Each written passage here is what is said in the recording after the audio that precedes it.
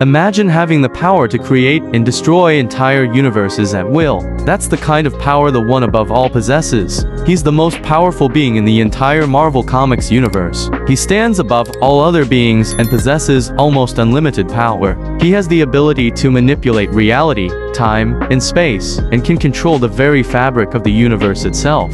Need a new galaxy, he can create it in the blink of an eye, but perhaps his most incredible power is his ability to create and destroy entire universes at will. With just a thought, he can bring entire galaxies into existence, or snuff them out like candles. So when it comes to power and strength, the one above all truly stands above all others in the Marvel Comics universe.